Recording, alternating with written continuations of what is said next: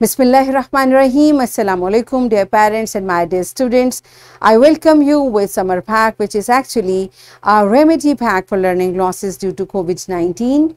Dear parents, ये remedy pack कैंट ने एक थॉरो रिसर्च के बाद डेवलप किया है और इस रिसर्च की details professor doctor Mohammad Naeem Khalid साहब ने आपके साथ शेयर की हैं इन वेब लिंक्स के थ्रू आप इस रिसर्च की डिटेल्स ज़रूर मुलाहिजा फरमाइए हमारा वीक थ्री स्टार्ट हो गया है और हमारा थीम है एनवायरमेंटल एजुकेशन हमारा आज का एस एल ओ है change the number of regular and irregular nouns and recognise nouns with no change in number dear parents हम बच्चों को सिंगुलर प्लोरल का कॉन्सेप्ट बहुत अर्ली एज से देना शुरू करते हैं और ग्रेजुअली उसको एनहेंस करते हैं। उसका डिफ़िकल्टी लेवल इंक्रीज होता है। जैसे बच्चे अब यहाँ पर रेगुलर और irregular nouns as well as उन नाउन को भी अंडरस्टैंड करेंगे जिसके सिंगुलर और प्लोरल में कोई फ़र्क नहीं होता। Means same noun we use it इस तरह से बच्चों की वोकेबलरी इंक्रीज होती है। बच्चे करेक्ट वोकेबलरी को यूज़ करते हैं।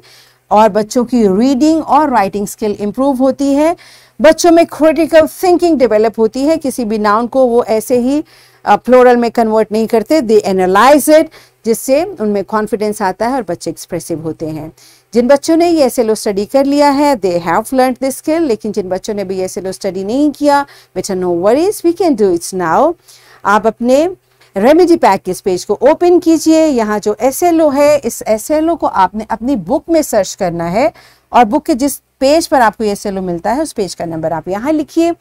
उसके बाद इस क्यूआर कोड को स्कैन कीजिए। इसके साथ अटैच वीडियो लेक्चर को बहुत गौर से देखने के बाद, पूरे कॉन्सेप्ट को थॉरली अंडरस्टैंड करने के बाद, आपने इस एस को अपने रेमेडी पैक के इस पेज पर प्रैक्टिस करना है। बेटा, हमने बहुत मेहनत करनी है क्योंकि हमने बेहतरीन स्टूडेंट और शानदार मुसलमान बनना है।